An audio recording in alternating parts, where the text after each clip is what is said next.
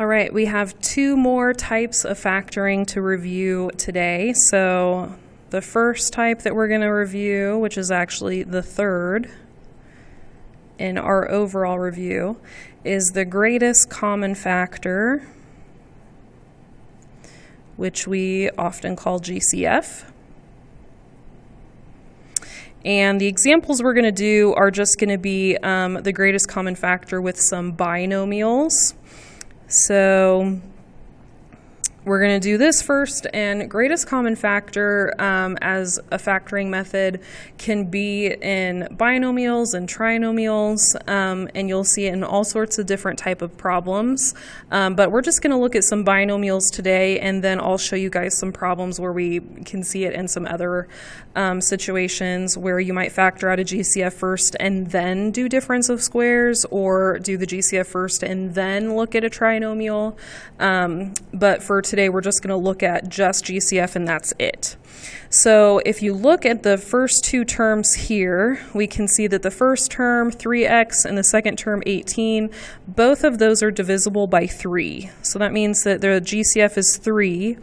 And for the first term, if you have a 3x and you take out the 3, that leaves an x behind. And for the second term, if you have an 18 and you divide by 3, that leaves a 6 behind. So GCF of 3, the leftovers are x plus 6. Next, if we have 18x squared plus 24x, with this one, I'm going to look at the numbers 18 and 24, and I'm going to think about what number I could divide out of both of them. So I might notice that both of them are divisible by 2, both of them are divisible by 3, uh, both of them are divisible by 6. And because it's a GCF, the greatest common factor, I want to take out the biggest thing. So I don't want to take out 2 or 3, I want to take out 6 because that's the biggest number. And then between the variables, I also have something in common. I have an x. So I'm going to go ahead and take the x out as well. So 18 divided by 6 is 3. x squared divided by x is just x.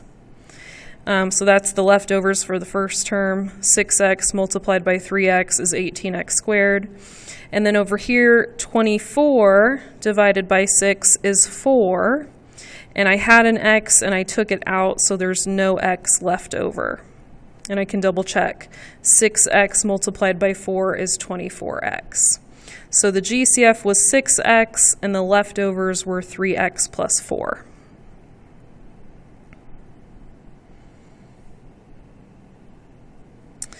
Um, here's another example. 4m squared minus 20m so between the numbers 4 and 20, the GCF would be 4 because 4 can divide out of both of those. 2 is also a common factor, but it's not the biggest one. So the biggest number that can divide out of both of those is 4. So I'm going to take out the GCF of 4, and then between the variables m squared and m, we're going to take out a GCF of m. So 4 divided by 4 is 1. So you can write a 1 there, or you could just write nothing there, because we don't have to write the 1 down unless it's the only thing. Um, m squared divided by m would just be m. 20 divided by 4 is 5. And then m divided by m, we don't even have to write it because it's gone.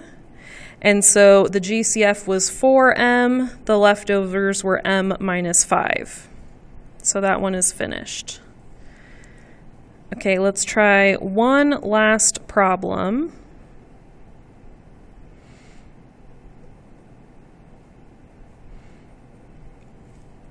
All right, so this one I'm doing something tricky on purpose because this happens a lot and students um, get these problems wrong.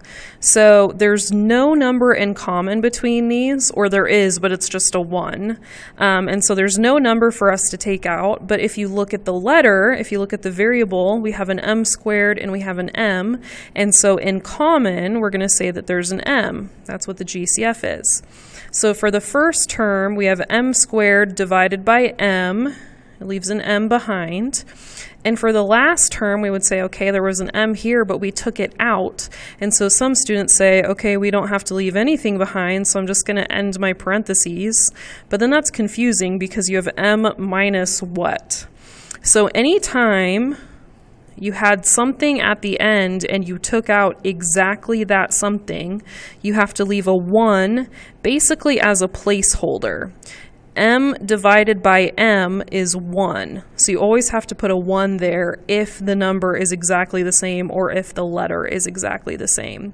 So we need to make sure that if you were to take this and distribute it back inside, it would equal the original problem. m multiplied by m is m squared m multiplied by negative 1 is negative m. So the GCF is m, the leftovers are m minus 1. Okay, so the next type of problem is a trinomial. So just like what we learned first, but this is where the a does not equal 1. So these are going to be slightly different. So for example, we're going to do the problem 5x squared minus 12x plus 7. So when I say the a value doesn't equal 1, I'm talking about quadratics because they're in the form ax squared plus bx plus c. So what I'm saying here is that there's a number right here in front of x squared. And what we did the first day is we looked at problems where the x squared was all alone, which means that the a value is 1. What we're going to look at today is problems where the x squared is not alone. We're going to look at problems where the x squared has a coefficient. And so these problems are going to be a little bit more difficult. So the process that I like to do for these um, is called slide divide bottoms up. And some teachers teach the box method and some teachers teach guess and check. Um, I don't know if there's any other methods that I've heard of, but from my experience, students really like slide divide bottoms up, so that's what I'm going to teach. And if you don't like it, just let me know and I can do another method with you. So the method is slide, divide, bottoms up. So first step is to slide. So what we do is we take the number in the front, we slide it over to the number on the end. So I did that first step.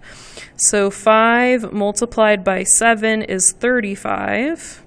So I'm looking for two numbers that multiply to positive 35 but add to negative 12.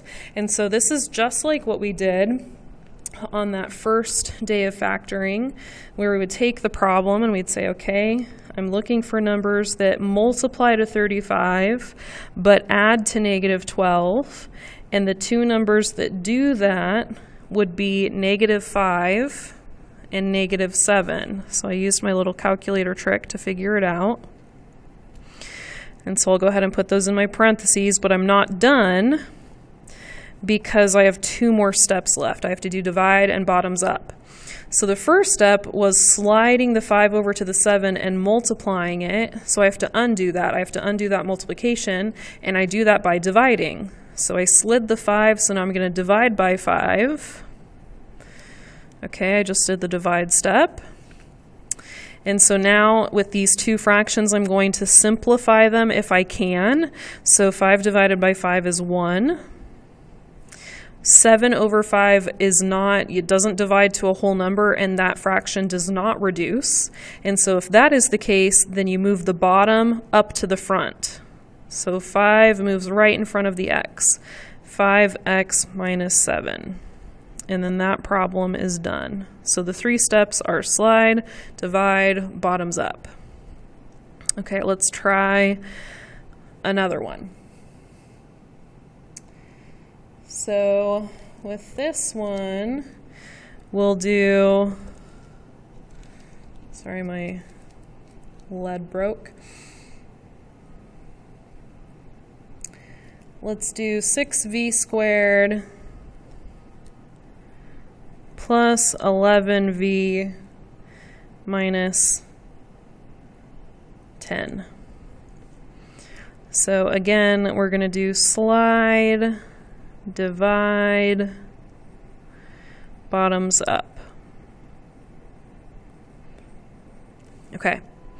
So the first step is to slide the 6 over to the negative 10.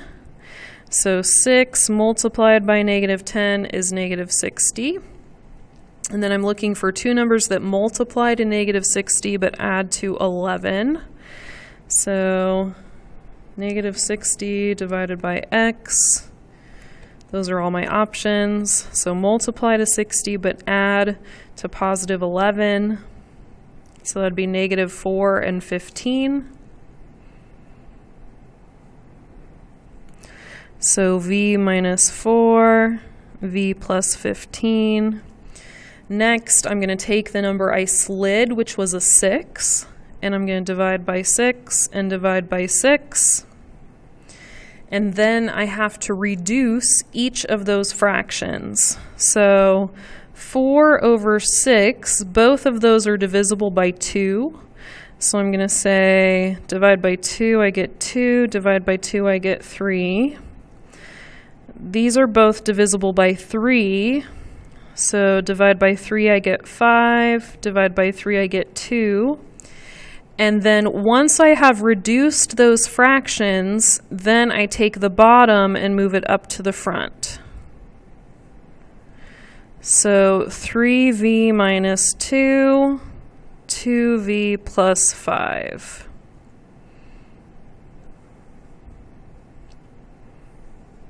Okay, and I'll just leave it at two examples for that problem, and we can go ahead and do more examples in class.